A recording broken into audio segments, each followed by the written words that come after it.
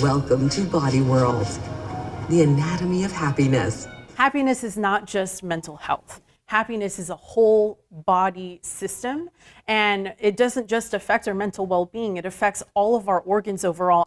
Rose Bizum is a scientist at the Science Museum of Virginia, where Body Worlds, the anatomy of happiness, is shedding some light on this connection. It's a fantastic exhibit that incorporates um, human plastinates, so specimens of the human body from anatomy to nerves to bones, uh, to give us a, a deeper understanding of how happiness affects not only our minds, but our entire bodies as well. It's an opportunity to learn about our bodies and see it in a method of preservation called plastination. And so that's done using what's called vacuum force impregnation. And so essentially, you're forcing polymers like silicone or resin um, into the body to preserve them for many years to come. The specimens in this exhibit come from the Body Worlds Institute for Plastination. And they go through um, a really specific process called informed consent. And so anyone who is part of the ex exhibition has given um, living consent in order for their, um, their bodies to be displayed.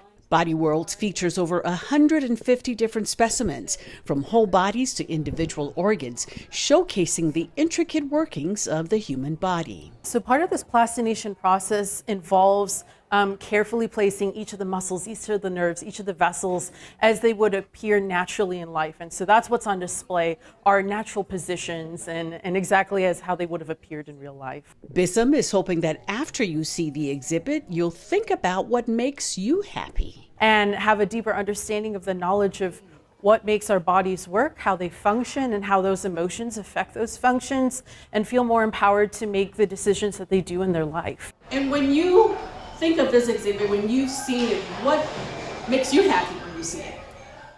So actually, one one of my favorite exhibits is this chocolate tower, and it's talking about how um, choices can lead to um, our feelings of happiness or feeling like we're not particularly satisfied. Body Worlds runs through Labor Day, and the Science Museum is offering a variety of complimentary programming, extended hours Fridays from 5 to 8 with $10 discounted tickets. Now, that's something to make you happy.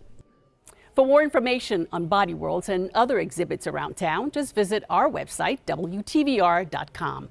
Antoinette Essa at the Science Museum of Virginia, CBS 6 News.